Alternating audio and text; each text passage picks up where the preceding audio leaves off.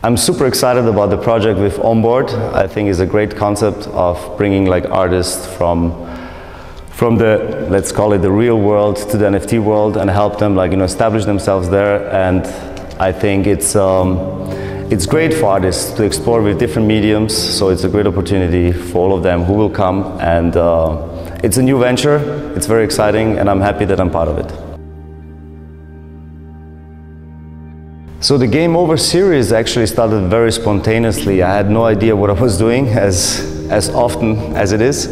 And um, I just had all these like um, different materials lying around. So I used like some wood, I had some old uh, Viennese art posters and I started like doing my little collages and um, for some reason I never did something to show my inspiration that I take like from Jean-Michel Basquiat. I loved his skulls that he painted in his works and the representation of, of death and life. And um, especially as an artist, there is always like a beginning and an end if you create something and it comes to an end. And uh, it's a little death to the artist. So what he has to do, he has to rebuild and, and start all over again. So it's, it's really about the process, and that's exactly what this series is about. Uh, it says also like game over, the game is over, you lost. Um, nobody likes to lose, but I think losing is, is, is a part of the game. And what is most important is that you play again, that you never stop, and fall in love with the process. Well, we call ourselves artists, but what is art? This is the first question we have to ask ourselves.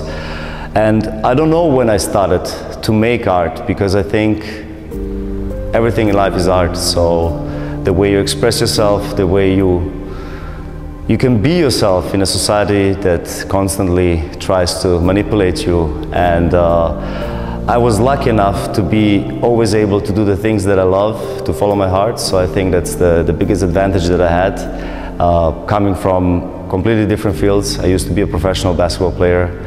I modeled for 10 years in New York, and I think all these impressions and all this experience are flowing now into my work, and that's why art is definitely the next step and my calling.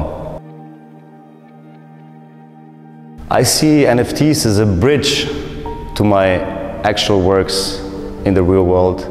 And I think this adds a lot, a lot of value. I can use NFTs as, as a certificate of the works that I've done.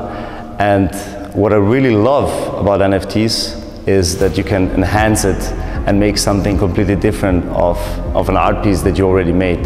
So to see this process and to see these possibilities is just mind-blowing. And I'm really curious to see where this is gonna, which direction is gonna take and what else we will be able to create in this new community, in this new space. Another great thing about the NFT world is the excitement. People are excited about art and brings art closer to the people and I think that's a wonderful thing. Um, the young generation maybe will just discover art through NFTs and then like, you know, look also into other art. But what is important is that there is art and that there is interest for art. Okay, but enough about this serious talk. Let's go to play. Let's do something. Come on, let's create.